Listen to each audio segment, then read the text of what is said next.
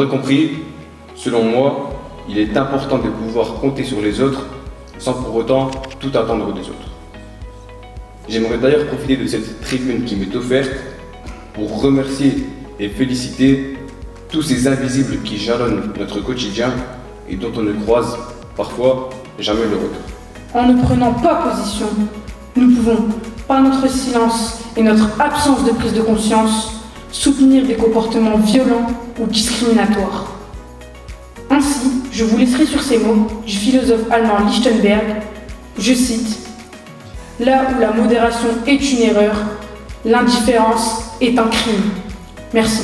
La vie est, à mon sens, le meilleur moyen d'apprendre, à condition d'être suffisamment ouvert pour apprendre de ses erreurs. Même si nous ne sortons pas victorieux d'un match, si nous avons produit du beau jeu, si nous avons été à la hauteur des couleurs du club, si nous avons mouillé le maillot pour nos supporters, alors nous retenons la fierté d'avoir respecté la confiance qui nous a été donnée. Face à ces deux camps, et au risque de mettre certains d'autres dans cette salle, mon choix est fait je vais vous le partager.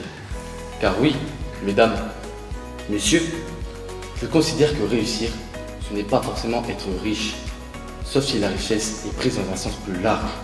Admettre qu'il faut politiser le sport, c'est reconnaître la faillite de l'élite politique à trouver des solutions aux problèmes que nous rencontrons.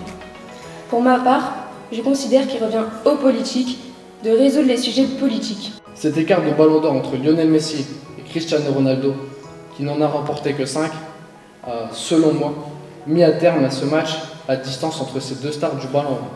Les mots ont le pouvoir de détruire ou de soigner, de créer ou de démolir, de guider ou de tromper. C'est la raison pour laquelle un tel pouvoir doit être utilisé avec précaution.